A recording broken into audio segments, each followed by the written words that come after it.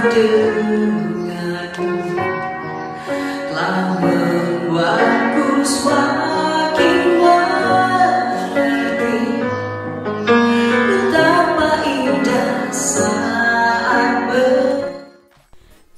menikah hanya menjadi ibu rumah tangga yang punya hobi jalan-jalan, Sarita Abdul Mukti tak pernah berpikir terjun ke dunia hiburan.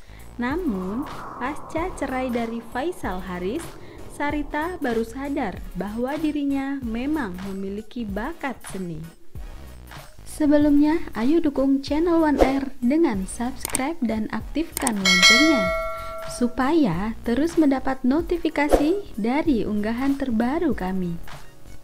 Dari kecil suka nyanyi banget, tapi 21 tahun ini benar-benar nggak pernah melihat ada potensi apa dalam diri.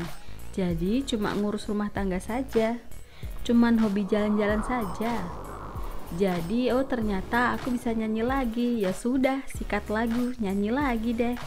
Ucap Sarita ditemui di kawasan Senopari, Jakarta Selatan. Kembali menyanyi, Sarita tak langsung percaya diri masuk dapur rekaman.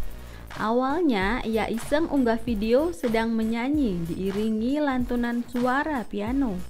Namun, siapa sangka video tersebut mendapat respon baik dari warganet. Aku nyanyi di rumah diiringi piano, terus aku posting di medsos. Terus banyak banget yang senang. Banyak banget yang bilang bagus suaranya. Kenapa nggak nyanyi saja? Jadi ya sudah dilanjutkan saja, katanya. Tak hanya warganet yang menyambut baik, anak-anak Sarita juga mendukung. Sebagai bentuk dukungan untuk Sarita, benarkah anak-anak sampai menangis mendengar suara sang bunda? Nangis terharu pasti, karena ini ending dari perjalanan musibah kemarin.